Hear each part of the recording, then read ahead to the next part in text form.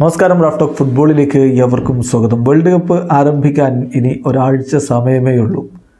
ഈ world cup തീർത്തും വ്യത്യസ്തമായൊരു world cup ആയിരിക്കും അതിന് ചില കാരണങ്ങളുണ്ട്. പറയുന്നത് അർജന്റീനക്കാരനായ പി എസ് ജിയുടെയും ടോട്ടനാം ഹോട്ട്സ്പറിന്റെയും ഒക്കെ മുൻ പരിശീലകനായ മൗറിസിയോ പൊച്ചിറ്റീനോയാണ്.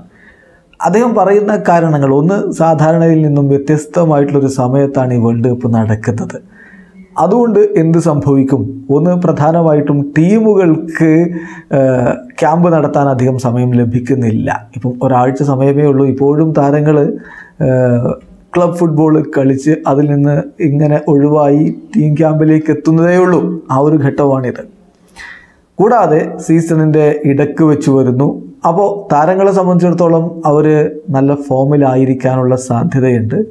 ഇങ്ങനെയൊക്കെ ഉള്ളതാണ് ഇപ്പോൾ മൗറിസിയോ പൊച്ചറ്റിനോ പറയുന്നത്. അദ്ദേഹത്തിന്റെ വാക്കുകളിലേക്ക് നമുക്കൊന്ന് പോകാം. അർജന്റീൻ മാധ്യമങ്ങൾ അത് റിപ്പോർട്ട് ചെയ്യുന്നു. അദ്ദേഹം പറയുന്നു ഈ വേൾഡ് കപ്പിനെ കുറിച്ച് പറയുമ്പോൾ എന്തായിരിക്കും എന്നുള്ളത് കണ്ടറിയണം. കാരണം വ്യത്യസ്തമായിട്ടുള്ളൊരു ഡേറ്റിൽ സാധാരണ നടക്കുന്ന തീയതികളിലല്ലാതെ നടക്കുന്ന ആദ്യത്തെ വേൾഡ് കപ്പാണിത് കോച്ചുമാർക്ക് വേണ്ട വിധത്തിൽ പ്രിപ്പറേഷൻ നടത്താനുള്ള സമയം ലഭിച്ചിട്ടില്ല.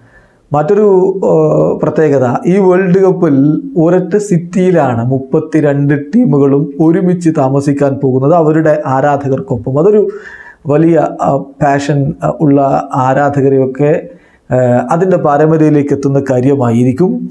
എങ്കിലും ഇതൊരു ക്രിറ്റിസിസിനും ക്രിറ്റിസിസം പലരും ഈ ഒരു വേൾഡ് കപ്പിനെ കുറിച്ച് പറയുന്നുണ്ടെങ്കിലും അതിനും അപ്പുറത്തേക്ക് കാര്യങ്ങൾ പോകും. ബോൾ ഉരുണ്ട് തുടങ്ങുമ്പോൾ കളി തുടങ്ങുമ്പോൾ പിന്നെ എല്ലാവരും അതിനെക്കുറിച്ചായിരിക്കും ചർച്ച നടത്തുക.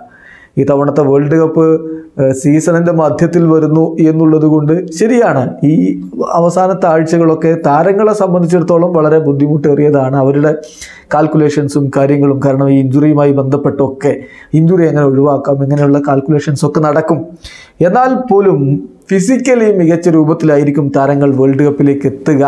നാല് മാസത്തെ അല്ലെങ്കിൽ മൂന്ന് മാസത്തെ ഒക്കെ കോമ്പറ്റീഷൻ ലീഗൊക്കെ കളിച്ചുകൊണ്ട് അവരുടെ ബെസ്റ്റ് ലെവലിൽ നിൽക്കുന്ന ഒരു ഘട്ടത്തിലാണ് ഈ വേൾഡ് കപ്പ് നടക്കാൻ പോകുന്നത്. തീർച്ചയായിട്ടും അതെങ്ങനെയായിരിക്കും താരങ്ങൾക്ക് ഗുണം ചെയ്യുക എന്നുള്ളതും നമ്മൾ കണ്ടറിയേണ്ടതുണ്ട് എന്നാണ് ഇപ്പോൾ മൗറിസിയോ പോച്ചറ്റീനോ പറയുന്നത് സാധാരണ ഇതിലൊരു സീസൺ മുഴുവൻ കളിച്ച് താരങ്ങളാകെ തളർന്നു നിൽക്കുന്ന ഘട്ടത്തിലാണ് ജൂൺ മാസത്തിൽ വേൾഡ് കപ്പ് നടക്കാറുള്ളത്. ഇത്തവണ അങ്ങനെയല്ല.